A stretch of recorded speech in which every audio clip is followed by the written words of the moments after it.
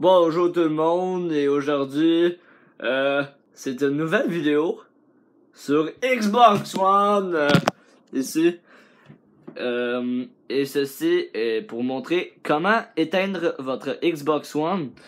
T'sais, précédemment j'ai fait plusieurs vidéos comme comment l'allumer et jouer, hein, puis c'est ça. Puis maintenant c'est comment la fermer parce que tu sais une fois que tu l'as allumé, tu te dis mais tabarouette comment que je fais pour que euh, c'est ça qu'on va faire aujourd'hui. Fait que euh, t'as plusieurs moyens, mon ami.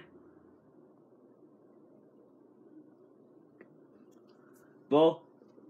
Soit t'as le moyen, tu tiens le bouton de main. Tu le tiens. Éteindre ou que quelqu'un. Soit tu cliques sur ce bouton-là.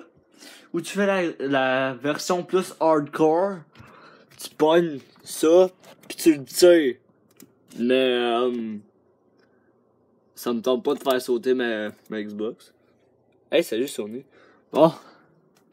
Euh, C'était un peu ça les amis.